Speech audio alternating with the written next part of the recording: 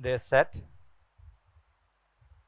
And they're both out of the gates for this uh, mock race.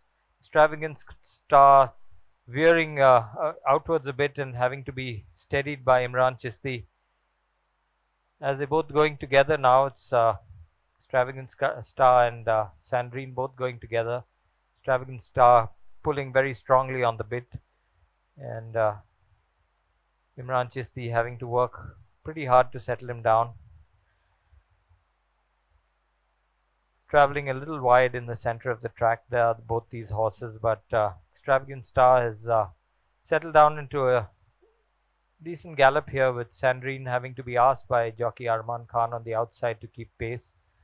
So Extravagant Star now with Imran Chisti a shade ahead of about length, length and a half in front of the blinkered Sandrine.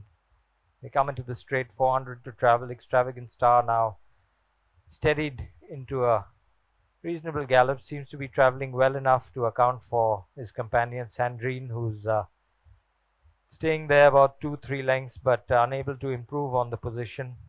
Extravagant Star easing up there with the last 100, 100 to go. So that's it. Extravagant Star comes out and beats Sandrine by about three lengths at the finish.